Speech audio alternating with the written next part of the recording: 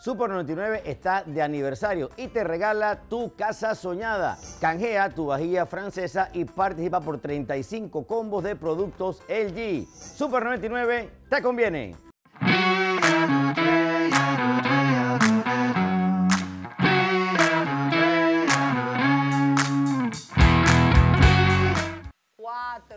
A Estados Unidos cuánto le hicieron falta? 23. El 11 Exacto. A inicial y la Estados Unidos le hicieron falta inicial y la 23. banca. A ver, no me digan, Chuck, Chuck Moore juega en Tenerife, Oye, fue el me mejor jugador de azul, ¿por qué me Tenerife. ¿Y por qué no dijiste eso antes? Lo dije, lo dije en la Dijiste transmisión que- que de Estados Unidos, lo dije. Jugó 42 partidos con el Tenerife. Dijiste Chuck que era un equipo de la mediocre Soccer League, que un partido de interescuadra de Exacto. España tiene más nivel que la MLS. Arriola, Ese equipo ¿cuántos de MLS le ganó a? México. Ya, Rookie, acepta cuando te Turner fue el mejor y de. Estados Unidos. El- su arquero fue el mejor. O sea, estamos alabando Está hoy bien, sí, al pero- equipo que queda campeón porque su arquero termina siendo la figura. Pero era, eh, tú dices que a México Fue el le mejor portero del porque le torneo. tiraron y la Bueno, defensa. Estados Unidos cambió la nómina entera de la Liga de Naciones.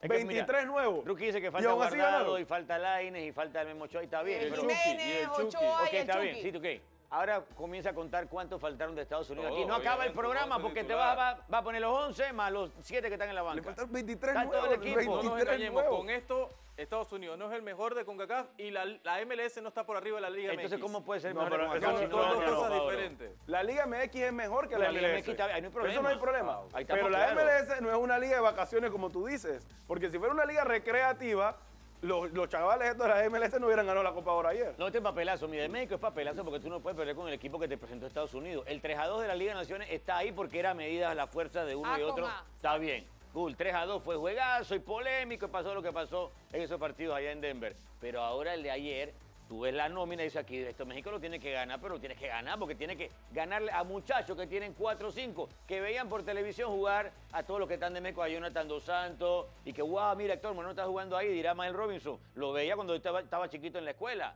porque los mexicanos tienen una trayectoria, cantidad de partidos, los de Estados Unidos no. Aparte de Arreola y Ledger, que han jugado más encuentros con el equipo y Kelly Acosta. Pero ellos, ellos son tres, Cannon. son banca del equipo titular que está banca. jugando en. Europa. A veces juegan, no son los habituales. Los llevaron para de repente meterlos ahí, darle minutos, dale minutos a ellos también.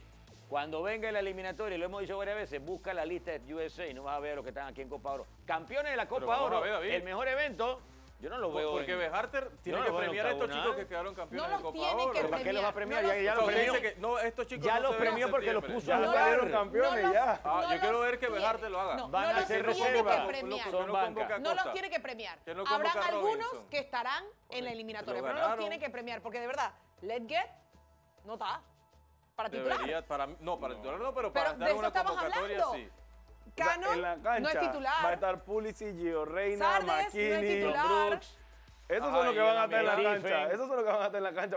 No. Turner va a estar convocado. Debe ser el segundo. Turner, Turner. Va Ah, Turner. segundo. Sí, estará, bueno, Vamos a ver. eh, Gus- Gusan Yo creo que y, y Turner. Chuck Moore por, Y, el portero de es Y el del City. Y el del City. Pero, Sí, o sea, pero. Turner, que fue el primero aquí, es el tercero en eliminatoria. Pero otra cosa, en esto, ganó Estados Unidos con el equipo Z, lo que tú quieras poner en la letra que le quieras poner al Ay, equipo. sí, que me confundí con ese del alfabeto. Sí, Ponle otra letra para que lo cambie. Estados Unidos ¿Qué altamente dice, alternativo. ¿Qué dice esto del resto del CONCACAF? Que viene un equipo que mandan a las manes que no han jugado y que ganan el torneo.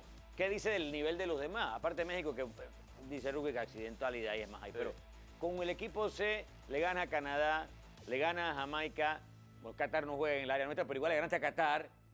Entonces, ¿cómo estamos nosotros que fuimos con el, nosotros fuimos con nuestro mejor equipo y no pasamos en la ronda de grupo? Estamos- No jugamos con Estados Unidos, no No, jugamos con que ellos. nunca. Pero y los otros, los salvadores o los Guatemala o los demás, fueron con sus mejores equipos. No habla bien del nivel de CONCACAF.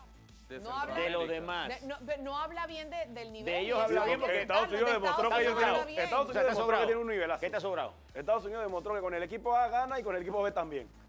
Sí, sí. Estados Unidos va sobrado en la eliminatoria. Ellos felices, pero para el resto de la gente, mira, no, te, te ganó, ganó un equipo que no son los habituales. No es el equipo que generalmente juega. Super 99 está de aniversario y te regala tu casa soñada. Canjea tu vajilla francesa y participa por 35 combos de productos LG. Super 99 te conviene. Entonces, ¿qué pasa con las demás selecciones del área? Que, no, que tú eres, hey, si Estados Unidos fue así, aprovechemos muchachos, vamos a llevárnoslo. Dirá Canadá o dirá Jamaica. Y ellos Y tampoco pudieron. así también. Digo, O sea, Pero Canadá un gol, hoy- fue un gol, claro, no fue una diferencia inmensa, ¿no? Pero fue Sí, un es gol. que a este equipo Pero igual perdiste. No le sobró nada. Estados Unidos ganó siempre con lo justo.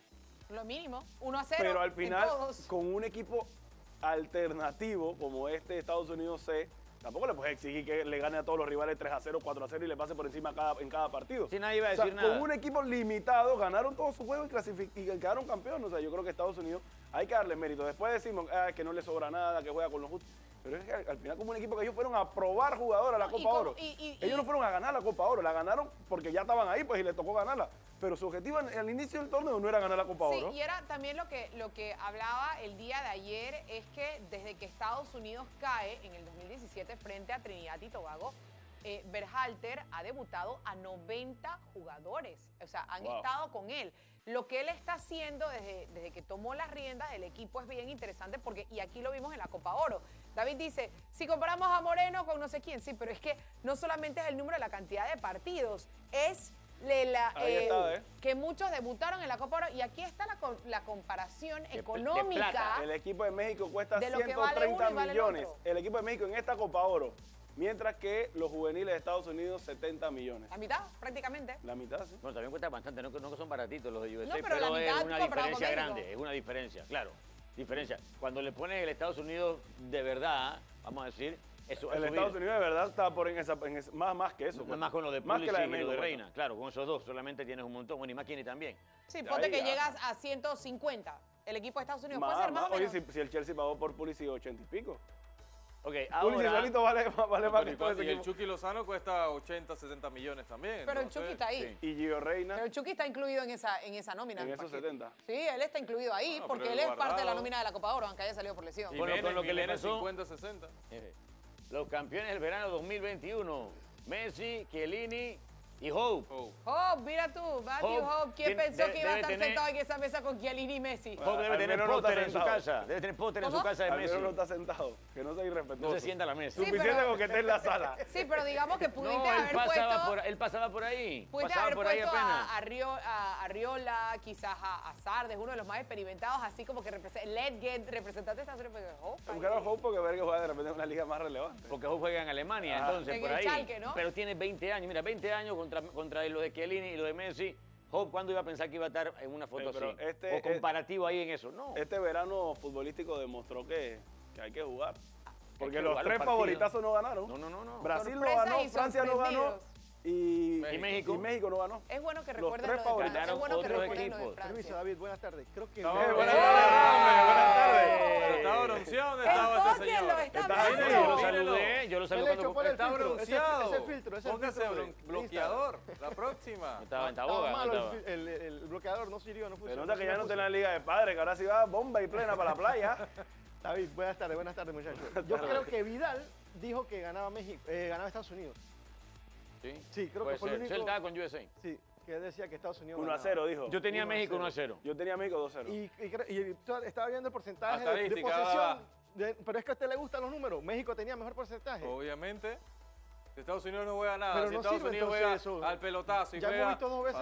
Pero, el, pero es el equipo, es que Estados Unidos C. Porque Ah, Estados Unidos con Pulisic sí porcentaje juega distinto. Presentado gracias a Super 99 está de aniversario y te regala tu casa soñada. Canjea tu vajilla francesa y participa por 35 combos de productos LG. Super 99 te conviene.